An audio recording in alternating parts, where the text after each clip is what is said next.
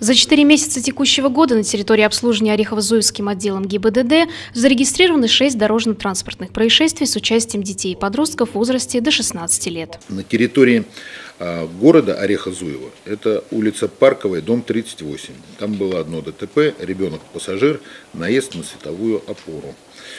Улица Дзержинского, дом 8, тоже ДТП, ребенок-пассажир, наезд на настоящее транспортное средство. Высокий уровень детско-дорожно-транспортного травматизма в городе Орехозуево обуславливается тем, что на территории обслуживания ОГИБДД Орехозуевская находится 117 образовательных учреждений. Из них, значит, 57 школ и 60 э, детских садов. Через город Орехозуево и район проходит федеральная автодорога А108 Горьковского и Горевского направлений. На учете в отделе ГИБДД состоит более 73 тысяч единиц транспортных средств, что приводит к высокой интенсивности движения транспорта и массовым скоплением граждан к основным транспортным артериям улично-дорожной сети. Виновность со стороны водителей транспортных средств прослеживается в 100% случаев с участием несовершеннолетних. Основными причинами являются нарушение установленного скоростного режима, правил маневрирования, а также правил проезда пешеходных переходов. С начала текущего года на дорогах Московской области в 140 дорожно-транспортных происшествиях получили травмы различной степени тяжести 153 ребенка и 4 юных участников дорожного движения погибли. В городском округе Орехово-Зуево и районе за 2016 год в ДТП пострадало 6 детей. В целях предупреждения детской аварийности в Подмосковье проходит профилактическое мероприятие «Внимание, дети». Особое внимание госавтоинспекция будет уделять водителям, нарушающим правила дорожного движения при перевозке детей, при проезде пешеходов пешеходных переходов и при осуществляющем переход проезжей части в неустановленном месте.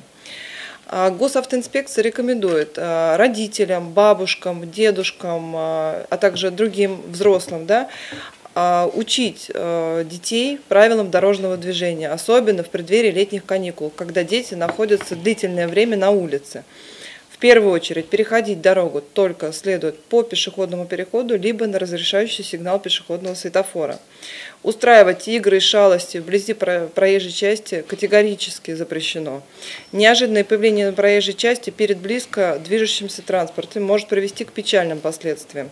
В темное время суток э, и в сумерки использовать в одежде светоотражающие элементы. С ними ваши дети будут э, э, заметнее на дороге, и это поможет водителю вовремя предотвратить несчастный случай. На сегодняшний день усилена ответственность за нарушение при перевозке детей. Четвертые, пятые, шестые части предусматривают, что введена ответственность на должностных и юридических лиц, и штрафы там, соответственно, выросли в разы. То есть, если вот за четвертую часть за организованную перевозку детей, не соответствующим правилам, штраф на должностных лиц в размере 25 тысяч рублей, а на юридических 100 тысяч рублей.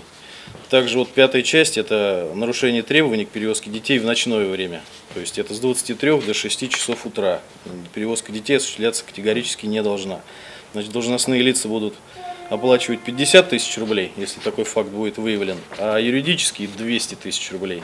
Полиции для выполнения возложенных на нее обязанностей федерального закона о полиции предоставляется право проверять документы, удостоверяющие личность граждан, если имеются данные, дающие основания подозревать их в совершении преступления. Сам порядок обращения сотрудника э, к гражданину регламентирован статьей 5 федерального закона о полиции, э, устанавливающий, что сотрудник полиции обязан при обращении к гражданину сообщить свою должность, э, специальное звание, фамилию, по требованию гражданина предъявить ему служебное удостоверение, после этого э, сообщить причину и цели обращения. В случае, если э, гражданину применяются меры, ограничивающие права и свободы, разъяснить, сотрудник полиции обязан разъяснить гражданину причину и основания применения таких мер, а также возникающие в связи с этим права и обязанности гражданина. В случае задержания лица по его просьбе в кратчайшие сроки э, уведомляются о месте его нахождения родственники, а, либо администрация по месту работы или службы, а также по ходатайству лица его защитник.